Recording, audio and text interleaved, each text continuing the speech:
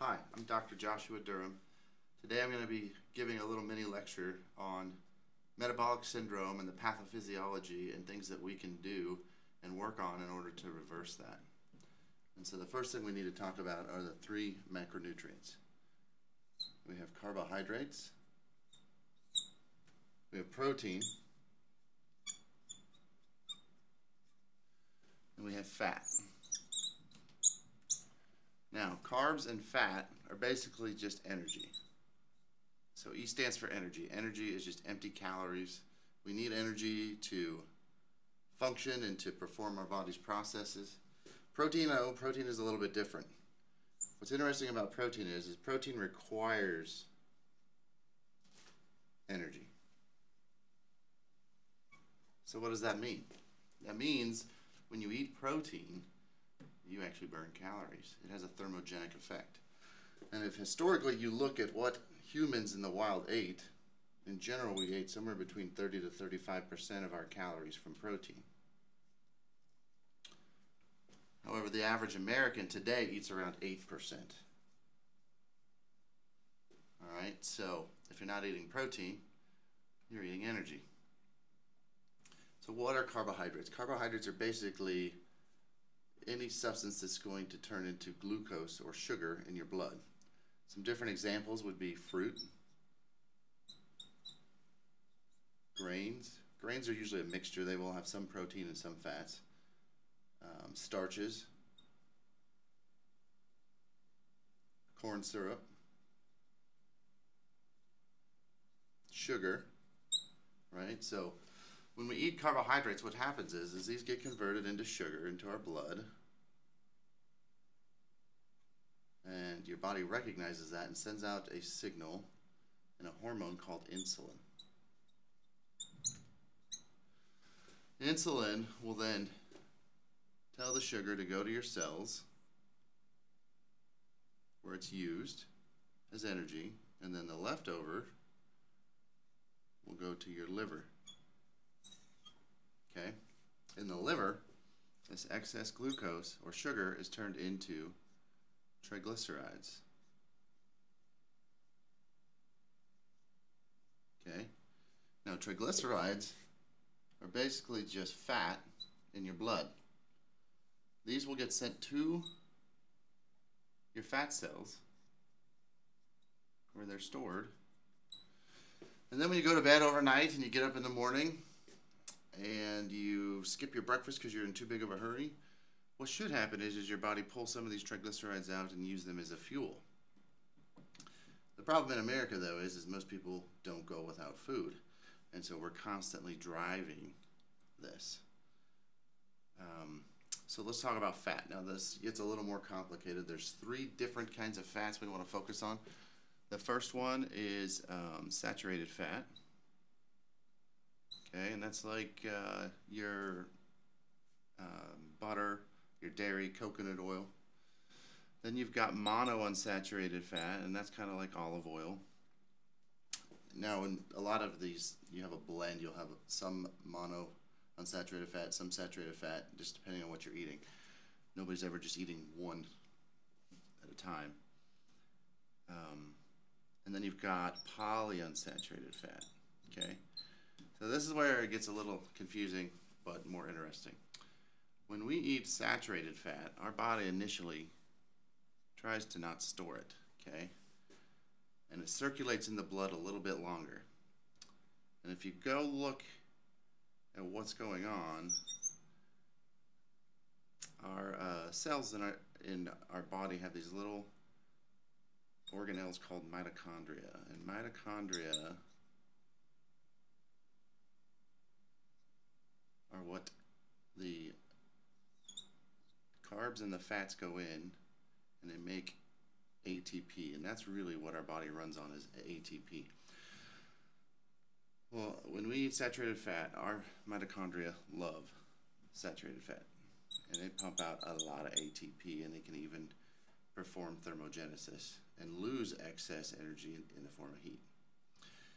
So I think that kind of goes back to when we were hunters and gatherers, and when we ate an animal and we ate it nose to tail, our mitochondria knew when saturated fat was coming in that we had just got to kill and we have a feast, and so it would crank out the energy.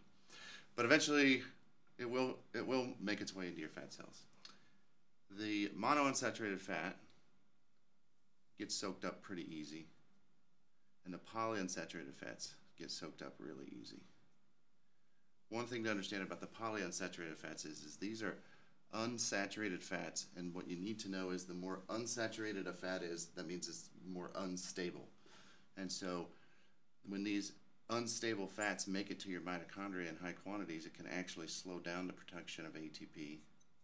And if it oxidizes, it can actually damage your mitochondria. So if we step back and talk about the polyunsaturated fats a little bit, what we need to understand is this is your omega-6 and your omega-3 fats, okay? Omega-3 is anti-inflammatory, and omega-6 is pro-inflammatory. So what does that mean? That means when your body makes inflammatory molecules, it's primarily making them from omega-6. And when it makes anti-inflammatory, it's primarily making them from omega-3. So what does that matter? Well, if you check a human uh, before the 18th century and you were to check how much omega-6 versus omega-3 did they have, they had a ratio of about 2 to 1. All right? And we primarily got this omega-6 in the wild from nuts and seeds. But in the mid 18th century, early 19th century, they invented these things called seed oils.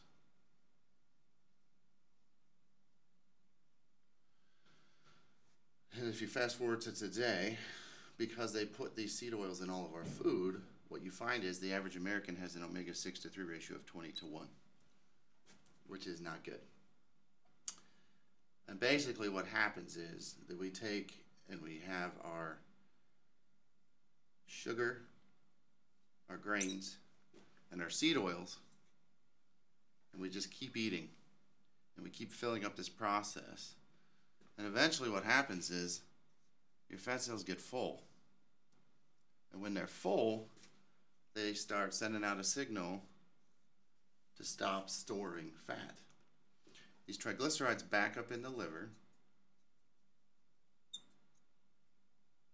and you still have all this sugar, all these carbs coming in, you still have all these external fats coming in, and basically you end up clogging your liver and you get what's called fatty liver disease. And if this goes unchecked, it will lead to cirrhosis and will kill you. So what happens is your liver and your fat cells, they all start sending out these signals to try to protect themselves. And they say, stop listening to insulin. And when that starts happening, you're in trouble. What happens next is your blood sugar goes up, your triglycerides go up, And now you're what's called energy toxic. You literally have sugar and fat sitting in your blood and you can't use it. And you have this constant back and forth of trying to store it, trying not to store it. So what happens then is your body sees this and it sends out more insulin. And so you have this fight between insulin resistance being sent out by the organs and then the pancreas secreting more insulin, trying to get the sugar and the fat out of the, bloodstream. So this is basically the pathophysiology and what's going on with diabetes. It is literally a state of energy toxicity. So what I tell my patients is if you, this is what's going on and this is the problem, what do you think is going to happen if you eat an apple? Is that going to make this problem better or worse? To make your sugar go up, right? What happens if you eat candy, more sugar? It's going to go up, right? And every time it goes up, your body's going to continue to increase this insulin resistance syndrome. Um, so the next thing to start thinking about then is what can we do to fix this? Now, a lot of us will prescribe medications, and depending on the medication you prescribe, it could make this better or worse. Because if you give a medicine to a diabetic that pushes the sugar and fat into these cells more, you're going to just cause more insulin resistance. So technically, the worst thing to give a type 2 diabetic is insulin because you're just going to keep the process going. You're going to shove more sugar into their eyes, their kidneys, their organs, their liver, and it's just going to continue to get worse and worse. So, what are the solutions? The, the solution number one is stop eating. Intermittent fasting. I tell my patients to stop eating all the time. If you just keep eating, you're just going to keep driving this problem. I recommend everybody does what's called a 16 8. You just eat in an eight hour window. When that window opens up, then you can start to eat. Number two is exercise. Exercise is great. It doesn't really generally make people lose a lot of weight. Most people are just fighting the calories they're eating. If you can train yourself to exercise fasted, well, now you're going to burn the sugar and fat out of your blood and maybe start dipping into your liver and fat cells. And then the third thing is, is all right, well, when it's time to eat, what should I eat? Well, you don't want to eat carbs. You definitely don't want to eat a bunch of polyunsaturated fats. Um, but the, the solution is actually simple. You just want to eat more protein than energy, right? If you eat more protein than energy, then your body's forced to burn the energy that's floating around in your blood, pull the energy out of your organs, and repair itself. So, this is why